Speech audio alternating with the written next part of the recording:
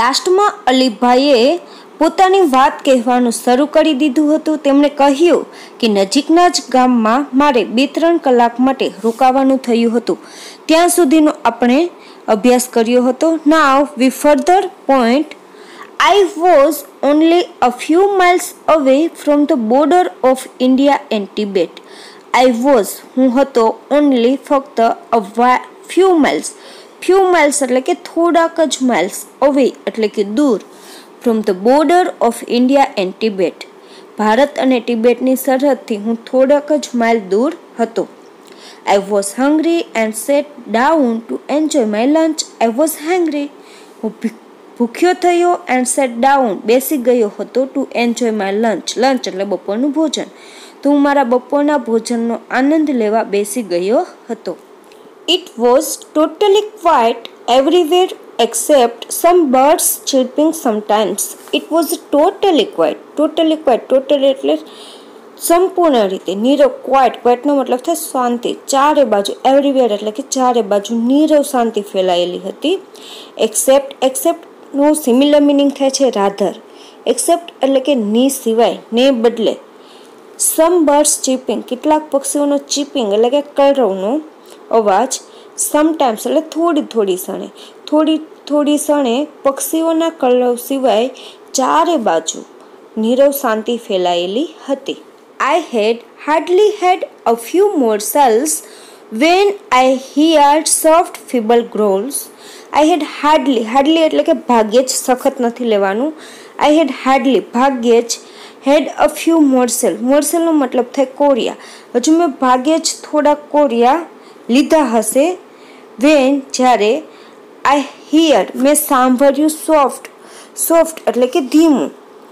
ફીબલ હરવો ગ્રોલ્સ ગ્રોલ્સ એટલે કે ખુરકવાનો અવાજ. કે જે મેં હજુ ભાગે જ થોડા કોરિયા ખાધા હશે, લીધા હશે, ત્યાં મેં એક સોફ્ટ હરવો ફીબલ ધીમો એવો ઘુરકવાનો અવાજ સાંભળ્યો. આઈ વોઝ અલાર્મ્ડ અલાર્મ્ડનો મતલબ થાય છે સાવચેત થઈ જવું. આઈ વોઝ અલાર્મ્ડ હું સાવચેત થઈ ગયો હતો. બિકોઝ ફ્રોમ ધ સાઉન્ડ્સ અવાજના કારણથી હું સાવચેત થઈ ગયો. આઈ વોઝ શ્યોર મને ચોક્કસ ખાતરી હતી that it was nothing but a bear આ બિયર રીછ સિવાય બીજું કશું જ નથી. એ મને ખાતરી હતી. તેથી હું કેવું થઈ ગયો? અલાર્મ્ડ એટલે કે સાવચેત થઈ ગયો. Again repeat I was only a few miles away from the border of India and Tibet. હું ભારત અને તિબેટની સરહદથી થોડાક જ માઇલ દૂર હતો. I was hungry and sat down to enjoy my lunch હું ભૂખ્યો થયો હતો અને હું મારું બપોરનું ભોજન માણવા માટે બેસી ગયો. It was totally quiet everywhere except some birds chirping sometimes શું કહે છે? સમટાઈમ્સ કોઈ કોઈ વખત, કોઈ કોઈ ક્ષણે પક્ષીઓના કરવ સિવાય ચારે બાજુ નીરવ શાંતિ ફેલાયેલી હતી. I had hardly had a few morsels when I hear so feeble growls કે છે કે મેં ભાગ્યે જ થોડા કોરિયા હજી લીધા હશે ત્યાં વેન ત્યારે મેં એક સોફ્ટ એટલે કે હરવો ફીબલ્સ એટલે કે ધીમો, જેને તમે વીક પણ કહી શકો છો. એટલે કે આઈ હિયર સોફ્ટ ફીબલ ગ્રોલ્સ મેં હરવો ધીમો ઘુરકવાનો અવાજ સાંભળ્યો. I was alarmed because from the sounds I was sure that it was nothing but a bear હું તરત જ સાવચેત થઈ ગયો. હું અવાજના કારણ ફ્રોમ ધ સાઉન્ડ્સ કીધું, એટલે કે અવાજના કારણથી હું સાવચેત થઈ ગયો. આઈ વોઝ શ્યોર ડેટ અને મને ખાતરી પણ હતી કે આ બિયર રીછ સિવાય બીજું કશું જ નથી. હવે અલીભાઈ શું કરે છે તે આપણે જોઈએ. I quickly closed my tiffin box and bent low so that the smell of food and my body were not carried by the strong breeze to the monster. I quickly closed my tiffin box મેં ઝડપથી મારું tiffin બોક્સને બંધ કર્યું and bent લો અને હું નીચેની બાજુ નમી ગયો અથવા તો નીચેની બાજુ ઝૂકી ગયો. સો ડેટ કે જેથી the smell of food and my body, કે જેથી સ્મેલ ઓફ ફૂડ, ખોરાકની જે સ્મેલ છે તે એન્ડ માય બોડી, મારા શરીરની જે સ્મેલ છે, ગંધ છે તે વે નોટ કેરીડ, એટલે કે કેરીડ એટલે પહોંચવું બાય ધ સ્ટ્રોંગ બ્રિજ, કોના દ્વારા? તો સ્ટ્રોંગ બ્રિજ બ્રિજ એટલે કે પવન, ઓકે? તો સખત ફૂંકાતા પવન દ્વારા જે મારે બોડી અથવા તો જે ભોજનની ગંધ છે તે ન પહોંચે. ટુ ધ મોન્સ્ટર મોન્સ્ટર એટલે કદાવર પ્રાણી. કોઈ શિકારી મોટું પ્રાણી હોય તેને કહેવામાં આવે છે મોન્સ્ટર એટલે કે છે કદાવર પ્રાણી પાસે મારા શરીર અને ભોજનની ગંધ ન પહોંચે તે માટે, સખત પવન દ્વારા ગંધ ન પહોંચે તે માટે મેં તરત જ મારું ટિફિન બોક્સ બંધ કરી દીધું અને નીચેની બાજુ હું ચૂકી ગયો. I took up my bamboo staff with its pointed iron end in my right hand and a big double edged knife in my left. I took up મેં લઈ લીધું માય બાંબુ સ્ટાફ મારું બાંબુની જે સ્ટાફ હતી લાકડી હતી અથવા તો દંડો હતો with its pointed iron and કે જે પોઈન્ટ હતું અણીવાળો ભાગ હતો કઈ ધાતુનો અણીવાળો ભાગ હતો તો આયન એન્ડ આયન મતલબ કે લોખંડ. લોખંડની અણીવાળો જે મારો વાસનો મોટો દંડો હતો તે મેં લઈ લીધો ઇન માય રાઈટ હેન્ડ મારા જમણા હાથમાં. એટલે કે જમણા હાથમાં મેં લોખંડની અણીવાળો લાંબો જે બાંબુ, એટલે કે વાંસનો દંડો હતો, જેને આપણે ડાંગ પણ કહી શકીએ. તો કે છે કે મેં આ જે વાંસનો ડાંગ છે લોખંડની અણીવાળો તે મારા જમણા હાથમાં લઈ લીધો and a big double edge knife in my left અને એક મોટી ડબલ એજ એજ એટલે મતલબ થાય ધાર ડબલ એજ એટલે કે બે ધારવાળી નાઇફ એટલે કે છરો ઇન માય લેફ્ટ મારા ડાબા હાથમાં. અને મારા ડાબા હાથની અંદર મેં એક મોટો બે ધારવાળો છરો લઈ લીધો. I crawled carefully to the edge of the mountain and looked looked down to the deep narrow valley a crawl crawled crawling એવો શબ્દ સાંભળેલો છે. તો ક્રોલિંગ એટલે કે પેટે સરકવું અથવા તો પેટે ઘસડાઈને જે ચાલવું તેને કહેવામાં આવે છે ક્રોલ્ડ નાના છોકરા જે રીતે ચાલતા હોય છે તેને આપણે કહેતા હોય છે ક્રોલ ભાખડિયા પર ચાલવું તે રીતે. ગોઠણ પર. તો આ ક્રોલ મતલબ કે મેં પેટે ઘસીને અથવા તો પેટે ઘસડાઈને હું કેરફુલી ધ્યાનથી to the edge of the mountains હું પેટે ઘસડાઈને ગયો. ક્યાં ગયો તો edge of the mountains mountains એટલે ધાર, કિનારા પર. માઉન્ટેન એટલે કે પર્વતની. કે છે કે હું પર્વતની ધાર સુધી પેટે ઘસડાઈને ગયો.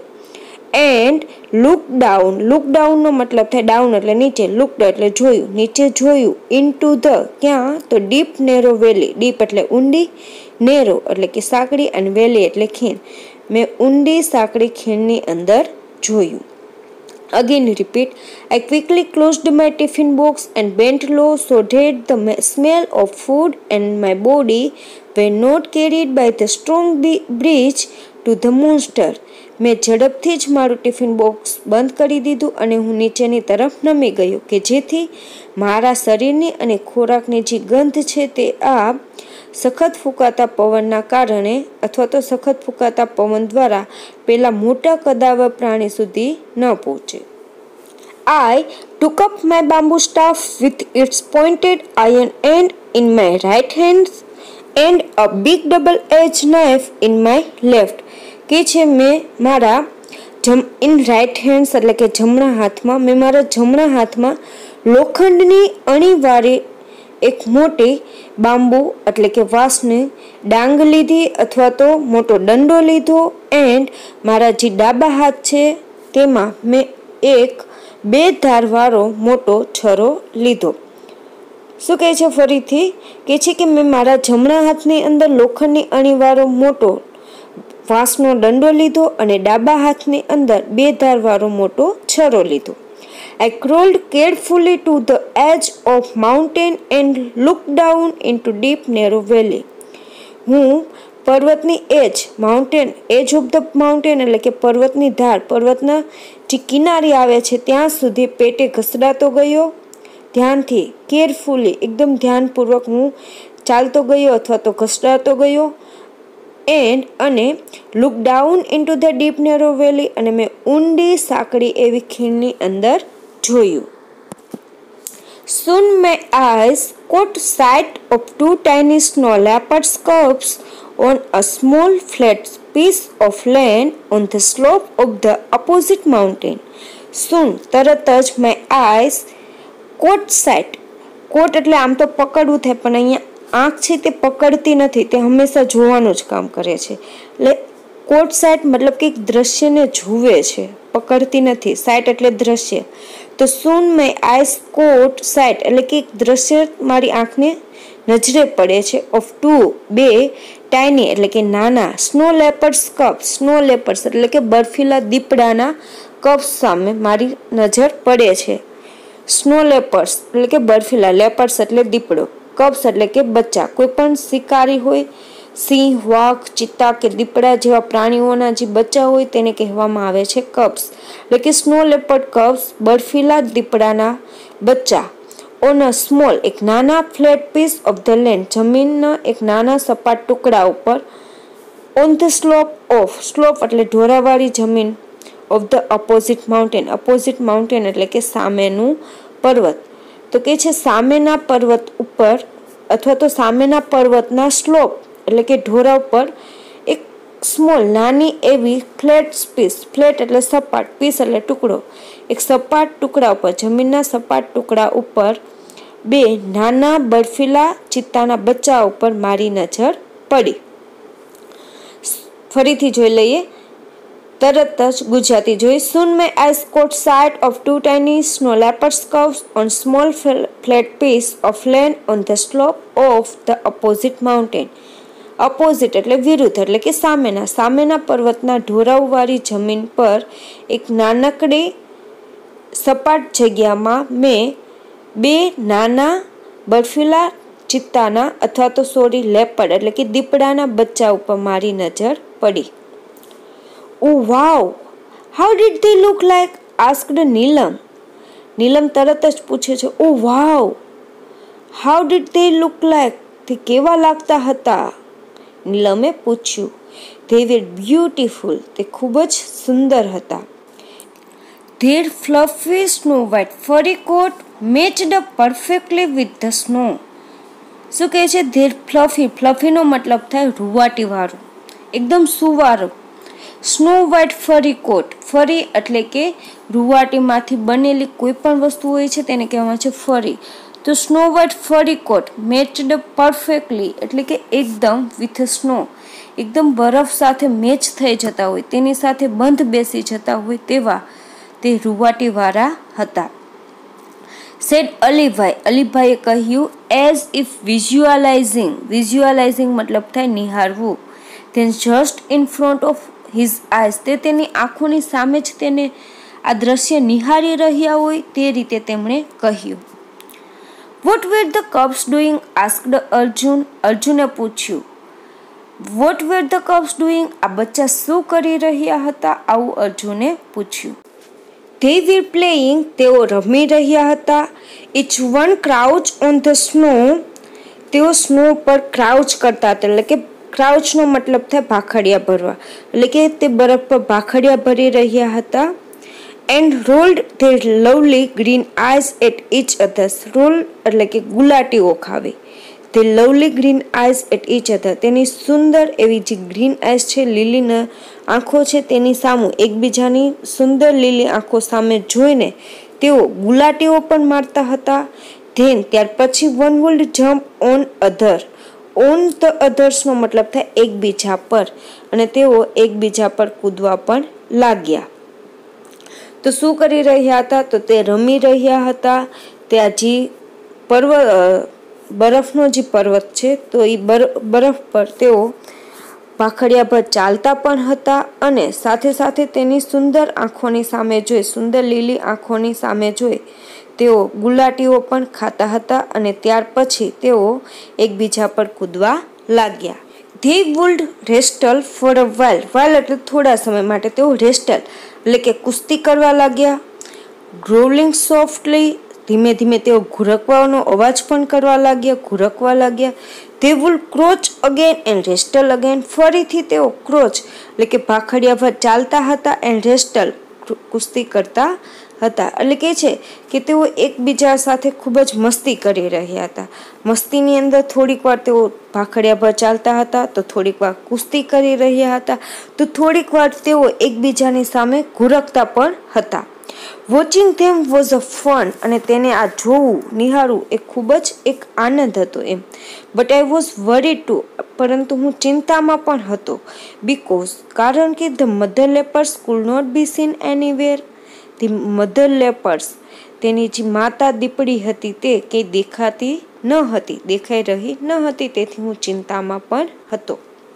Again repeat they were playing each one crouch on the snow and rolled their lovely green eyes at each others તેઓ રમી રહ્યા હતા અને તેની સુંદર લીલી આંખોની સામે જોઈ, એકબીજાને સામે જોઈ, ગુલાટીઓ ખાઈ રહ્યા હતા. તે બરફ પર ભાખડિયા ભર ચાલી રહ્યા હતા. Then one would jump on the others અને તેઓ એકબીજા ઉપર ત્યાર પછી કૂદવા પણ લાગ્યા. તે will wrestle for a while growling softly તેઓ થોડી વાર માટે રેસ્ટલ એટલે કે કુસ્તી કરતા હતા. થોડી વાર કુસ્તી કરતા એન્ડ ગ્રોલિંગ સોફ્ટલી સોફ્ટલી એટલે ધીમે ધીમે અવાજે ગ્રો ઘુરકવા પણ, ઘુરકતા પણ હતા. They would crouch again and wrestle again તેઓ ફરીથી ભાખડિયા પર ચાલવા લાગ્યા અને કુસ્તી કરવા લાગ્યા. Watching them was a fun but I was worried to because the mother leopards could not be seen anywhere તેમને જોવું, તેમને નિહાળવું ખૂબ જ એક આનંદ હતો, પરંતુ હું ચિંતામાં પણ હતો, કારણ કે તેમની માતા, એક મધર લેપર્સ માતા દીપડી છે, તે કે દેખાતી ન હતી.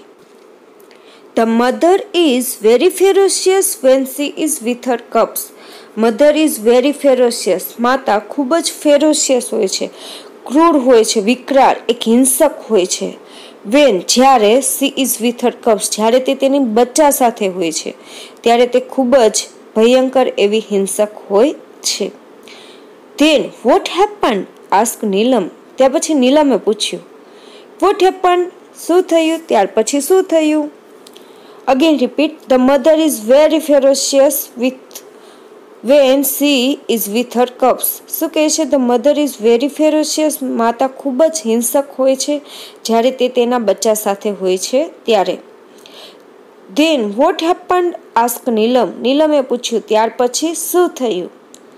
તો હવે પછી શું થાય છે તે આપણે નેક્સ્ટ લેક્ચરમાં ભણીશું.